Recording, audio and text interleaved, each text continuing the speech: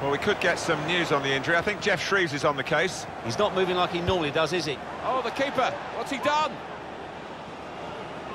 Bit of pressure on the player, that's why it's gone out. Poor throw, straight to the opposition.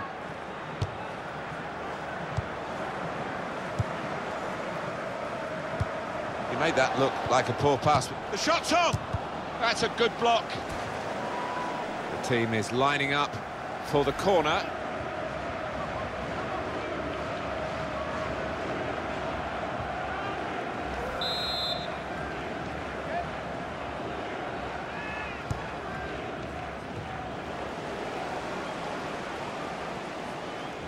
And that's a turnover to the opposition. Nice.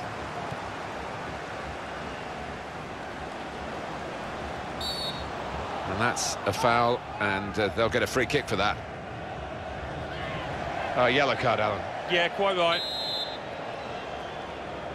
And it's been an hour of very good football here. We've still got 30 more minutes to go, and I'm sure we're going to enjoy that as well.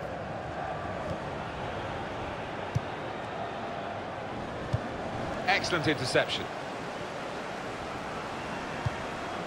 I don't know whether they'll be able to keep this up. They've still got the lead. Well, they've come out with that fierce determination that underdogs do have quite often. Determined not to roll over and be beaten, but... A penalty! Well, well, well. well. One or two of his teammates saying, why did you do that? You know you were booked, they knew he was booked. And most importantly, the referee knew he'd been booked. Off he goes. Yeah, I think sometimes this lad, I've seen it before, he does lose a bit of focus and lose his discipline in the challenge.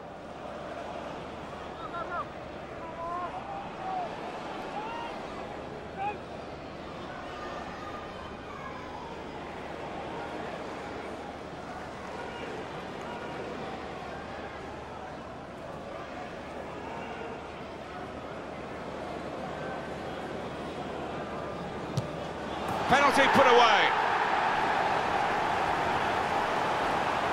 Well, there is a saying that uh, things come in threes. They've come in threes for him, a hat-trick. Not just three goals, but he's played really well. His overall game